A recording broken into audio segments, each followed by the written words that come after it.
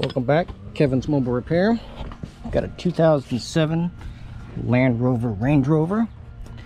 Customer complained of a shifting issue while driving. The car will temporarily move into neutral while driving.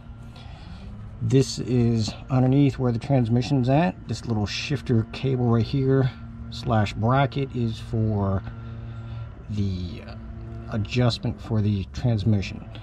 So this big nut right here on the outside is a 21. The one on the inside is a 13. I've already done this adjustment. Spray a little bit of PB Blaster on there so it'll slide freely.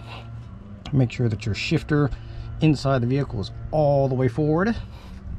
Loosen this 13 millimeter nut up. Move this part towards the front of the engine. That way it'll be all the way into the park position. Once you do that, tighten it back up and then take it for a test drive. The only thing I did take off was this little heat shield right here, which will be going back on. Eight millimeter nuts, one here, one here, and then a fun one up underneath the exhaust. Long extension stuff, you'll be able to get to it.